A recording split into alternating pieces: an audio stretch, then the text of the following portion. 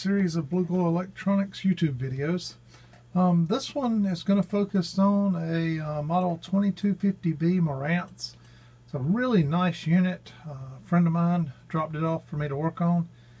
I think the story goes he landed this one in a Goodwill store for a few bucks. Um, but it's a, an extremely clean unit. You can see here, um, not this thing's not had a lot of dust inside of it. Um, really nice unit overall. I've already taken the cabinet off, but um, what we're going to be doing is diagnosing this thing. I thought we could just do it together. Um, I'll walk you through what I'm what I'm going to do. Um, the, the, note I got from from him was basically um, really nice unit, but will not power on. So uh, we're going to go figure out what it is about this unit that is uh, that is not powering on and uh, kind of take it from there. One little tip I'll show you, I try to keep an extremely neat workbench. Um, I've got another room next door here that's more like a shop. Um, got multiple workbenches, drill press, tools, things of that nature in there. So a lot of the heavy lifting happens over there. A lot of times I'll take the cabinets off in the other room. Um, sometimes I'll do it here, but either way, typically all I bring to the bench is a piece of equipment. Um, that, that way I don't have piles of equipment, you know, kind of stacked up around the bench. I'll also, um, over here, you know, I'll make stacks of uh, the screws. So I just put all these screws in a bag called 2250. That way I'm guaranteed not to lose them. And uh, anytime I've got multiple pieces going on at once. A lot of times I'll, I'll be working on something that I'll have to wait on parts. And so I'll kind of push those aside. Um, sit them off on the floor over here while I work on another piece. But I'm a uh, one piece of equipment on the bench kind of guy at a time. So let me uh, do just a little bit of diagnostics here, and I'll, I'll, try to show you what I'm doing as, I, as I'm going along. Okay, what I've done thus far, just so you're clear on what I've done, I've plugged the uh, power cord into a little uh, device over here, a little Kill A Watt. Um, see, these things used a lot. And I notice my Kill A Watts down to 112 volts. I'm going to crank that up to about 120. I'll probably hit it with my foot earlier. Alright. That's close enough. Um, use my little foot switch down here. Got the unit turned on. And I hit the power switch. And guess what? Nothing. No lights. No action. Uh, no camera. Any rate, I flipped it upside down and look what I see here. If you can get focused on this. Uh, let me kill the switch with my foot any rate, right here, main power leads going into the uh, power switch up in here. Uh, looks like there's been some, uh, you can see some solder clumps right there in the middle, right above that resistor. You can see there's been some uh, some merging of some, this is plain old brown zip line, they call it. Just the old, like a um, brown light cord that you used to see. And that's feeding out um, to what would be the uh, main power lines here. So I'm going to dissect this a little bit and uh, give my buddy a ring, let him know what's what I believe is wrong with it. And uh, we'll be uh, back and show you a little more. Let me get this tape off of here. Okay, I want to show you something here. If you notice I've got the knob off here. I'm starting to pull the knobs off the front of this thing.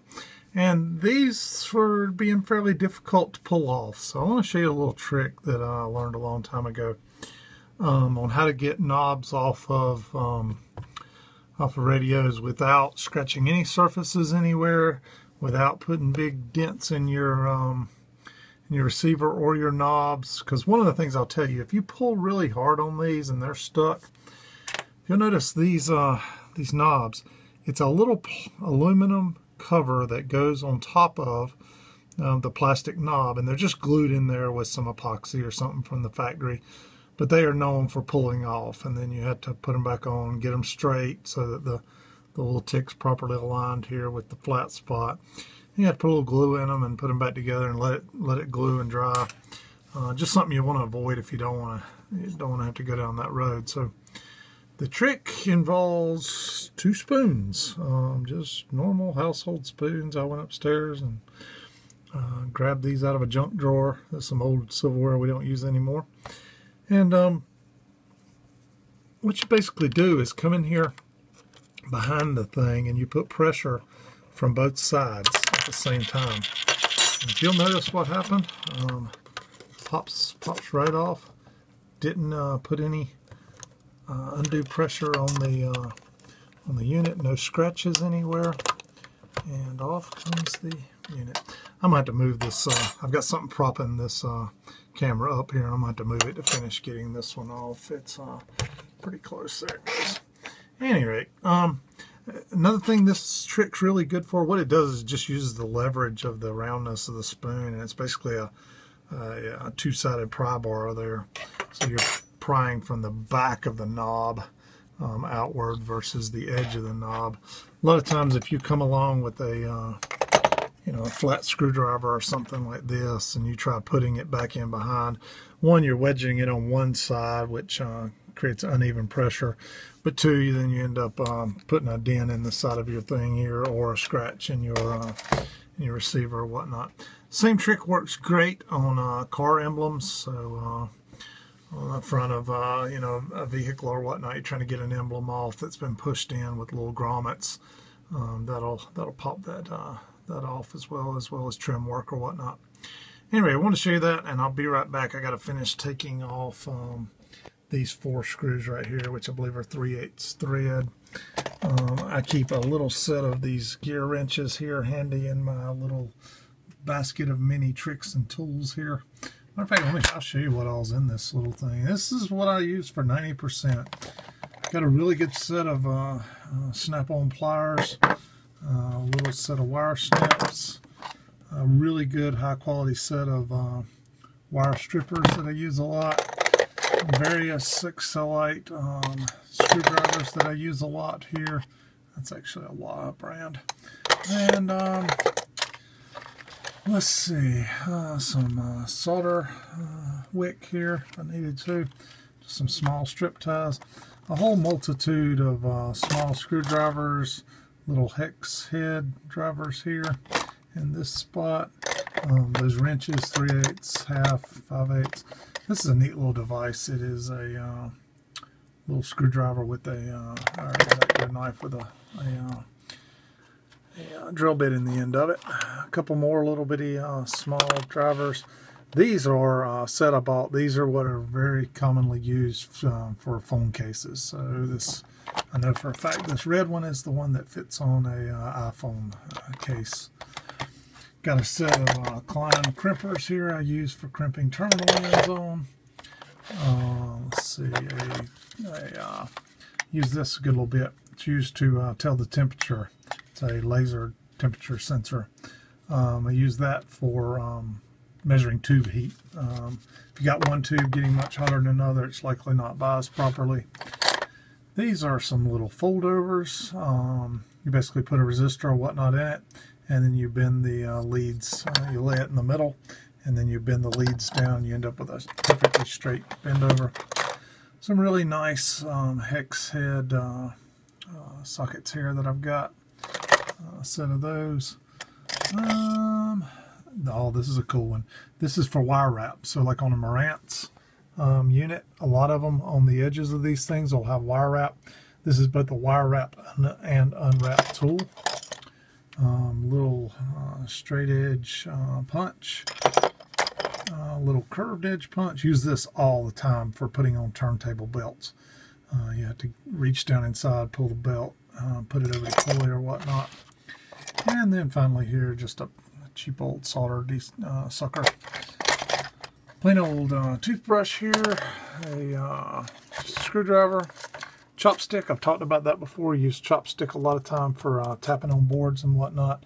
So if you got anything loose, whole pile of nylon uh, strips there, a really long Phillips screwdriver, and a paintbrush I use for dusting off stuff. That's that's what I primarily use here on the back wall. I got a couple more pieces that I use from time to time, but i tell you I've serviced a gazillion things with this stuff that you've just seen so um, I'll be uh, right back as I uh, get this front faceplate off to show you a little more Alright, I thought I'd show you a little more. What I've done is I've taken out these 3 8 inch threads. There's four of them on most Marantz units. Some of the smaller units, like the 2230 or whatnot, they'll just have a screw here and here, but these will have a um, an actual 3 8 inch screw here. And we'll take these out. not the hardest thing on this earth.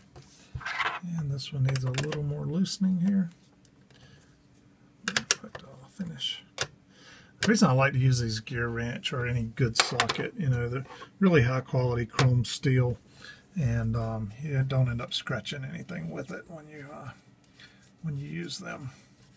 So once we got that off, you would think the faceplate here would just drop right off, but it won't.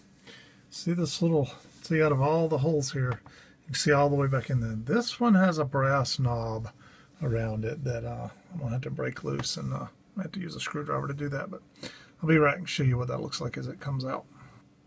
Okay, what I'm going to do here is just put a screwdriver up against the shaft, you can see, and then outwards. There's probably a wrench made for this, but, but you can see as I start turning it here, this thing starts to come out. And uh, what I'm going to do then, once I get it going, is just kind of use my fingers a little bit here to get this thing. You're getting all the Marantz trip tricks today. Um, these really are not that tough to work on, these units. They're a little bit complicated. There's a good bit to them. You know, they got a phono section, preamp section, uh, kind of an FM AM uh, section, a Dolby section in some of them. Um, so not the simplest things to work on, but yet not the toughest either. Um, and they're mostly all alike. And that's the last knob. These little knobs here on the front of them are and the power switch here um, you can see this faceplate will come out over those. So once you get that last knob off, here we go. We now have the faceplate of the Marantz off. And why did I do that, you might ask? Well, I got to get to this power switch in here. That is the culprit. And if you'll notice, there's two screws, one on each side, which you cannot get to without removing that. So that's why I had to get here and uh, take that thing out to be able to do this. Let me um, let me drop this camera, get the screws out here. Um, they use, if you notice, all around the screws is this blue stuff, right? Um, sometimes it's green, sometimes it's red. Um, they it's like a little bottle of fingernail polish, basically, that they use in the factory. They put a dab on there, and what it does is basically like glue, and it keeps you from being able to uh, spin the spin the knobs. I actually use Loctite same way. I just use a drop of it um, when I'm putting them back in. I don't. I've tried to buy this stuff, and it's not a, that easy to find without buying large quantities. So mostly you just use Loctite myself, and we'll be back shortly. All right. You'll notice, the screws are out now, and uh, just use a number two screwdriver bit here, a really good new one. Uh, I buy these in bulk of about 20 or 30. They're uh, they're um, DeWalt brand, but anyway, what I use them in is my little handy dandy Ryobi um, Tek4 um, nut driver. thing has two speeds, uh, fast and slow, and you can adjust the torque on it. And it has uh, kind of a quick on and off uh, for the ends, and then I just use um, one of these little magnetic deals here where you can pull your uh, your bit off, use a Phillips head or a flathead, whatever, drop it right back in there, and you're good to go. These things are $20 if you find one of the uh, used, I mean, uh, new tool outlets. Can't beat that. Um, bought an extra battery and uh, keeping the spare one charged. I'd use this thing all the time. Alright, if you notice that was where these things were taped up. um, I'm not going to bash anyone else's soldering work. I'll let you make your own opinions. Um, anyway, now the screws are out, this thing will just come out on its own. And there again some uh, some lovely globs of solder here that you'll see. They look to be cold solder joints and uh, uh, anyway, I'm going to remove those real quick. I'm going to take the switch out. Um, got the meter out here and we're going to test them. Be right back. Alright, so what we got here. Um, if you'll notice, I've got the meter set on um, diode, resistance, sound, capacitance check. And when you've got it on the sound, what that is is continuity check. And if you notice when you turn it to that switch, you can hit the mode button here a few times and it goes between auto, goes between uh, resistance, uh, little symbol up here for a diode check. Um, but the one I want is this one right here. If you'll notice the little symbol for the continuity check. So what happens when you have it on continuity check? If you touch these two leads together, guess what you get? You get a beep. And let me see if I can show you real quick here. I have to kind of try to prop the phone up here, or the camera, while I show you. If you notice when I touch the black and red together, beep, beep, beep. I'm going to clamp it back on the end here. So what should happen with this switch is um, when you push the button, guess what it should do? Beep. There is no beep. That was me making that noise. Um, so we got we've got dead switch. Now, one of the tricks I've learned over time with uh, Marantz gear is sometimes one side of the switch. If you'll notice, this is a dual post um, single throw. If I've got that right. Um, so got two sets of posts here, and uh, really there's two switches inside of this one switch. So I'm going to move these wires over to the other side of the switch real quick. And I'll probably have to drop the camera to do so. But see if the other side of the switch is good. Um, I have seen these where one side's bad. I move the wires to the other side. Unit works great. Keeps me from having to buy another um, switch. I'll usually inform the customer because if the other side ever goes out, then you will have to replace it. These switches usually range anywhere from 20 to 40 bucks depending on what model of receiver and where you can find one and whether there's any on eBay at that point in time or whatnot. Anyway, give me just a second. I'm to drop this switch to the other side and we'll see if it works or not. Alright, we've got it hooked back up. Still um, on the continuity check. This OL stands for open link. Means there is no connection between the two. I'm to push the button here. And, ooh, I heard it start. Oh, but it's not great. Let me try cleaning the switch. It could just be uh, dirty in there. If cleaning it doesn't get it where it cuts on and off 100% every single time, uh, we'll order a new switch. Well, we're going to give it a shot here. Hang on one second. Well, we proceeded to do the cleaning that I was mentioning. Uh, tried a little bit of Deoxit D5 in there. And guess what? Um, still didn't help. It helped some, but not a lot. And so I actually took it apart. If you notice these little tabs here, these were bent over. Um, and that's what held. They were actually, if you'll notice here, this sat down in here and these tabs were bent over on all four sides and held the switch together. So sometimes when i am working on a switch that you just can't find a replacement for, um, sometimes you have to go inside of these things and dissect them and try to repair them on the insides. But um, I thought I'd take it apart and show you a couple things. One, if you notice down on the inside of this, and it's kind of hard to see here without getting it in the light, there's some uh, copper post down on the inside, and that, that connects to these two middle posts. Um, and then down on the other, on the inside there, you see there's some more brass things that connects to these others, and they are just all gummed up really bad.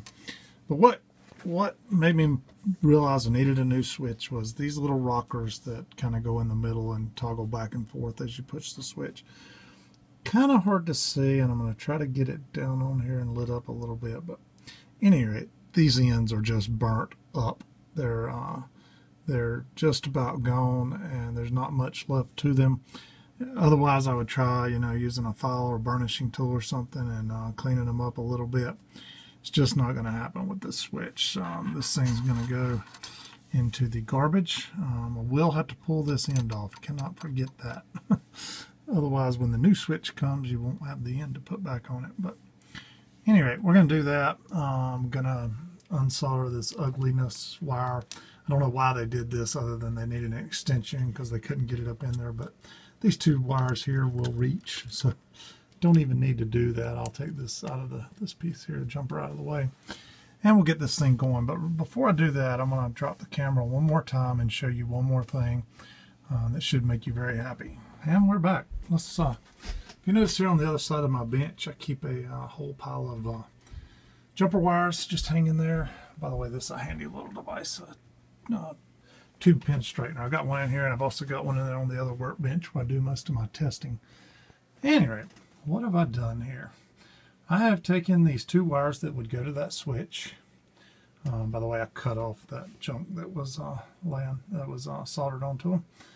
And I have nothing more than a single jumper going down here to them. So what that is basically doing, this is the power switch. um, but it is always on because it has uh, constant connection. So what I'm going to do is use my handy foot switch down here that you've seen many times now.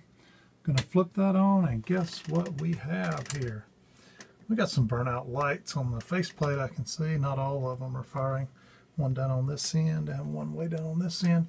But hey, that just gives us a chance to show you how to replace the uh, the fuse style light switches. But at any rate, what it does tell us is that this uh, Marantz works. And uh, oh, we've got lights out down here as well in the meter switch. But um, yeah, the um, switch needs replacing is all it is, and we'll have this thing functional. I'm sure I'll do more to the uh, to the unit as I uh, get into it, but um, you know, I always, when I service one of these, I'll always uh, clean the uh, string path and guide and uh, lubricate all of that. I will always uh, check the bias on one of these. I'll always check the voltage coming out of the power supply to make sure it's where it should be and set the bias properly. Um, let's see a trick down here. There's some little square transistors here that get used a lot in the uh, pre and phono sections of these Marantz. It's a very specific model number, but they are noisy. Um, and Fairchild Semiconductor makes a replacement. So anytime I see those, if that happens to be the specific model number, I always replace those. It gets rid of a lot of the noise, especially in the uh, phono amp section. Anyway, stay tuned. This is going to be part one. Not much more I can do until I order and get a new switch in for this thing. But we'll come back with part two where we put the switch back in, um, replace some lights, um, give this thing an overall good tune-up service, and uh, kind of get things going again for the customer here. Thanks everybody for watching, and I uh, hope you've enjoyed this video. Alright guys, I decided to add one more part before I wrap this thing up. If you remember, this was the part of the switch that actually you push, and this is where this was mounted. Uh, so you push the button, slides in and out. But if you'll notice on the end of this thing, it is actually um, a little flat blade, okay, which goes into a little flat slot inside the switch. Well, when you go to buy a replacement Marantz switch, you got two choices. You either find one that someone has gutted out of a uh, out of a you know a dead unit or whatnot, so an original one, and you'll pay uh, anywhere 25 to 40 bucks for one of those typically or there are some out there on eBay um, where people are basically selling uh, a modern version uh, switch that fits perfectly. So a couple things you got to consider if you go that new route. Um, first off um, the holes right here to here. You need to measure that. So you just use a little micrometer. These are about 20 um, centimeters, uh, I mean, uh, excuse 22 millimeters long. Uh, so 2 centimeters and 2 millimeters from point to point.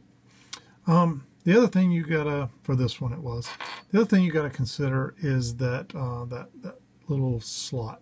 Most of the new ones will have a square plug instead of this little round slug. So what you end up having to buy is a new switch that has a square piece on the end here versus this flat. And you have to go on eBay or somewhere and you have to buy a new um, little knob that pushes onto it for about nine or ten bucks that has a square opening in it instead of this uh, slotted. So just wanted you to be aware of that when you go to replace a switch on a Marantz unit, which by the way I have done dozens of switches on Marantz units. So these original switches must not have been all that. I have uh, replaced more than um, than I ever would have wanted to. So um, you're going to have to buy a new replacement switch. Switch does not have to look the same, by the way. It physically needs to be about the same shape, so it'll fit up here into this little slot. It has to have uh, the same kind of mount, face flush mount here with the screws. Screws have to align so that they will go into these two slots right here. And then, uh, like I said, you got to make sure you get a knob that matches. So not that big a deal, but I uh, just wanted you to be aware.